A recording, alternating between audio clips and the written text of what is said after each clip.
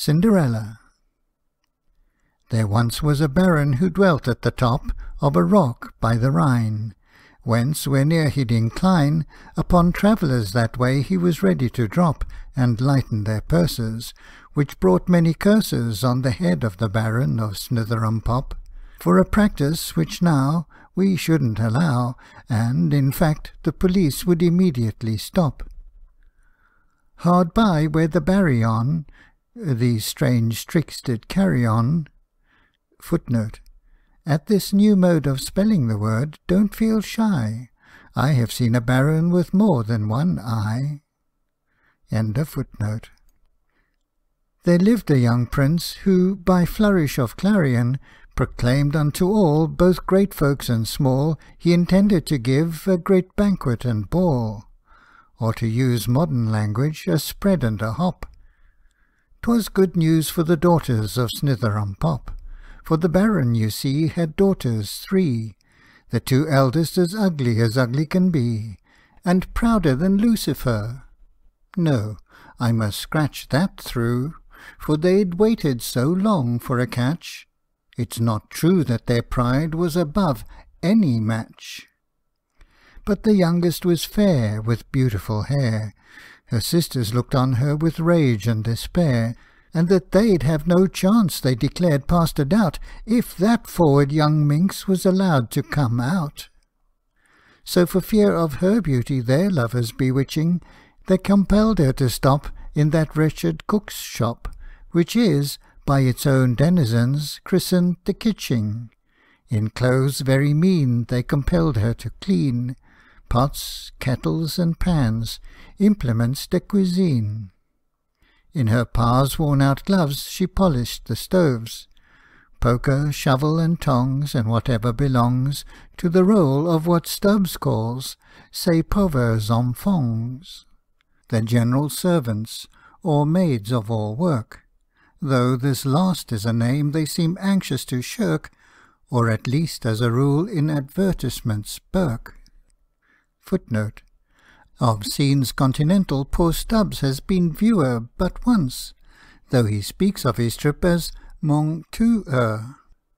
End of footnote. Though far from robust, she'd to sweep and to dust, and to see dinner cooked, when skewered rightly or trussed, though dining herself off a scrap and a crust. While if aught turned out wrong, by her pa she was cussed not to mention, en passant, the fact that she must Chairs and tables adjust, And, from last unto first, See that all things were clean from dirt, mildew, or rust. For this last she used paper, which is, unless memory Deserts this poor brain altogether, called emery. N.B. Any doubt on the point to enlighten, I don't mean the actor, although he's a bright un. When the ball was announced, off the two sisters bounced, To send their best dresses to have them reflounced, And soon became clawers from various drawers Of fans, flowers, gloves, by the shopman styled strawers, Trimmings, ribbons, and laces, to add to the graces Of their very poor forms and their very poor faces. I must own that they were since plain speaking de rigueurs, what tradesmen denominate marked in plain figures. One routs out a scarf, one contrives to unearth a compound of tulle and ribbons which you'll hear described by your sister or wife as a Bertha. The eldest's inclined to declare for a tarlatan, either an emerald green or a scarletan with a silk under petticoat known as a slip, while the second decides double skirts are the tip. What the tip means you know, though one can't see the point of it, I'd not use the slang save that rhyme makes a joint of it. At last draws near the festal day, the ball's to last three nights, they say. What a hustle and bustle! Oh, dear! What a fuss'll be made when the ball dresses whisper and rustle. I'll warrant that scuffle and noise quite enough'll be made when along the oak floors their feet shuffle. while the band are all playing as hard as they're able the popular waltz of the season, the Mabel. While her unprepossessing two sisters are dressing, Cinderella, to do all the work, I'm afraid, is made, Not only of general servant, but lady's maid. She lays out the robes by which each so much store sets, Takes things down to air, cleans their shoes, curls their hair, Pins their sleeves, hooks their dresses, and laces their corsets. And now they're both dressed, each looking her best, Is prepared to become, at the Prince's, a guest. They're gone, and yet neither her thanks has conveyed To poor Cinderella for lending her aid. They've not wished her good night, they have not even kissed her, Though for once they've allowed her to act as a sister. She could not but feel it, her heart being tender, So she sat down and had a good cry on the fender. When, as good Mrs. Brown, of world-wide renown, Whose figures of speech may, without any bosh, Be described as the things that come home from the wash, Says, all of a sudden the room was a flooding Of light, Cinderella, surprised, said, "Oh, Jiminy, The soot must have caught and set fire to the chimney." But no, 'twas not so. The beautiful glow Was not due to an accident quite the contrary Altogether another affair, and a fairy. Cinderella had got what nowadays not Very often has fallen to any one's lot, As I fancy you can't but instantly grant when you learn it's a fairy by way of an aunt. This benevolent fay has called in in this way To hear what her favourite niece has to say, And to send her, if any desire she evinces, To share in the fun, to the ball at the Prince's. When she said, " Will you go?" she didn't say no, But answered, " Just shouldn't I, aunt?" adding, "Oh, how I wish I'd a ball dress, one fit for a belle a White muslin with tucks so you shall, Cinderella. But first we must get you an equipage proper, You'll find some black beetles down there by the copper, There's a rat in the trap, and some mice too, mayhap, And there's also a lizard, a little green chap, On the grass plot before the scullery door. Bring them here, there's a dear. Stay, I want one thing more, a pumpkin, and yonder I see, if my eyes don't deceive me, a pumpkin exactly the size. Cinderella soon sought the things out, and brought To her aunt, who, by magic as rapid as thought, Turned the beetles to pages, and made of the rat A coachman all powder, bouquet, and lace hat. As for the mice, they became in a trice Eight cream-coloured galloways, worth any price. And the lizard, she made that most active of friskers A footman, with livery, calves, and big whiskers. And now, dear, said she, for a coach we must see. Now, pumpkins, some fry 'em, some boil 'em, some stew 'em, But no one before ever made one a brougham. Footnote No, but at the Adelphi, some folks I've heard tell on Are often quite carried away by a melon. End of footnote. At once, although strange you may fancy the change, And I think I am drawing a bow at long range, The pumpkin, of that as cocksure as a bantamime, Turned to a coach like a trick in a pantomime. When the worthy old Fay touched her niece's array, Rags and tatters all vanished at once quite away, And lo! in their lieu she appeared to the view In a ball dress of fashion the newest of new. She'd such lovely jewels, she thought of them crewels, Not at Hancock's or Ryder's or H. Emanuel's or the shops of some forty more, say Storr and Mortimer, Hunt and Roskell, or any besides of the many, Where on things of the sort you may spend a nice penny. Could you ever procure such pearls, diamonds, and topaz? I very much doubt if they equal the Pope has. though there are, so I've read in a newspaper, pa, a good many gems in the papal tiara. But what sort of shoes had the sweet Cinderella? Polished leather, white satin, French kid, or prunella? No, not one of those hid her dear little toes. She wore, can't you guess? Now what do you suppose? She wore Come, you know what she had, poor Ceciliers. She wore, as A. Ward would remark, 'twas peculiar. She wore, to be brief, then, a pair of glass slippers, and what vulgar rapture calls regular clippers. And now, said her aunt, your sisters may flaunt, and fancy they'll catch the young prince, but they shan't.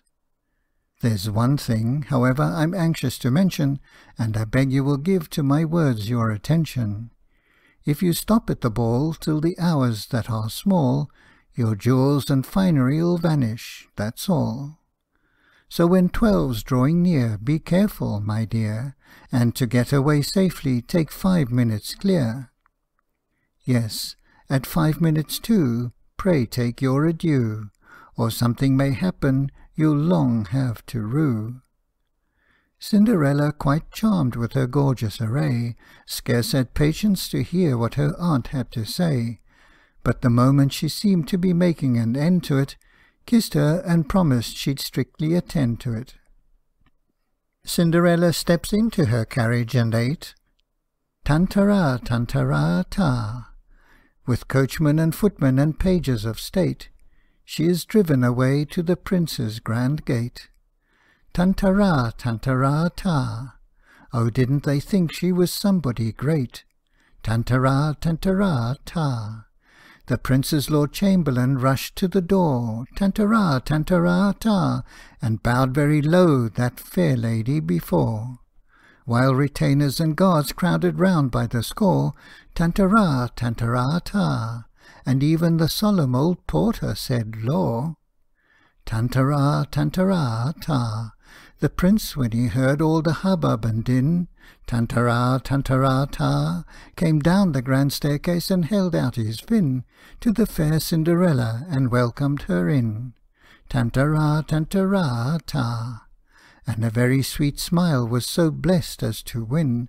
Tantara, tantara, ta. He leads her to the ballroom. As they enter, at once all eyes on Cinderella centre. Each noble of the land, well born or grand, Desires the honour of her tiny hand.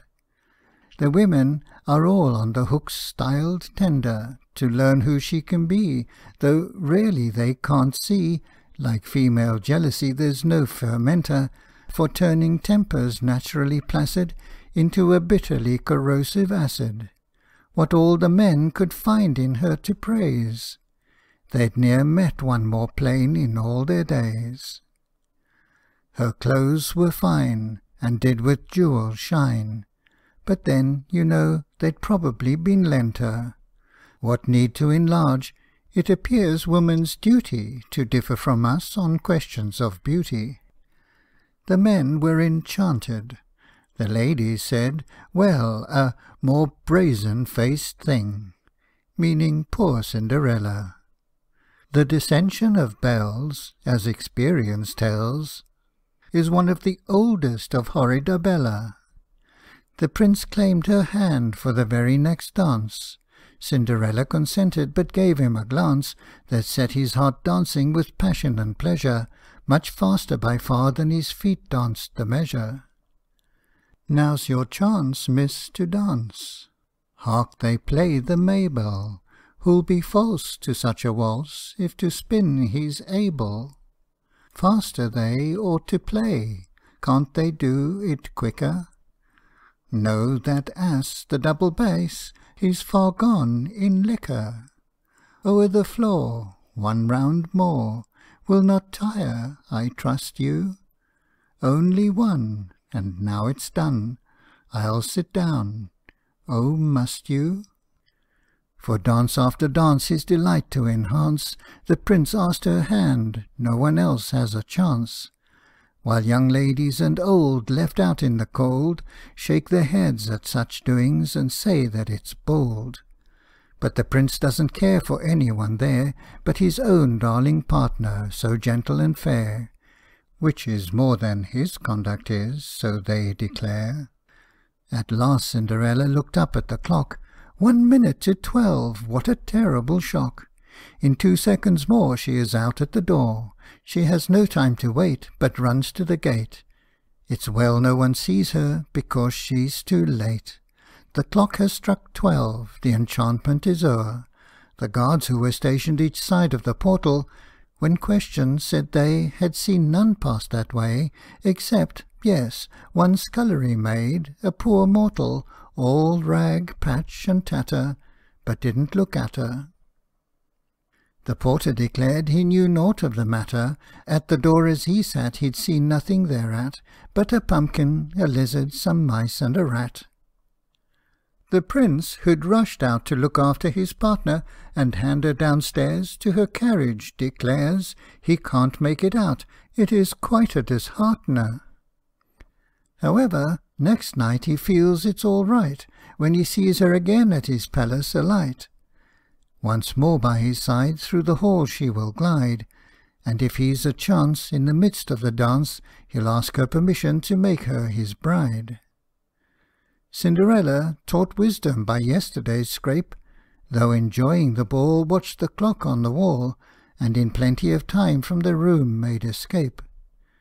But the prince, looking out very sharply, no doubt, saw what his mysterious guest was about, so sent for a follower trusty and tried, and said he was yearning the name to be learning of the lady just gone to her carriage outside. And so he must ride a little way on, say just down the next turning, and follow the coach, let whatever betide. The prince then conducted the fair to her coach, but in vain did his vassal await its approach to ride in its track, so at last he came back, at the news of his failure his master looked black, and instead of a money bag gave him the sack. The next night came round, once more the prince found His love at the ball, and his heart gave a bound. In the midst of the hop the question to pop He determined, and naught his intentions could stop.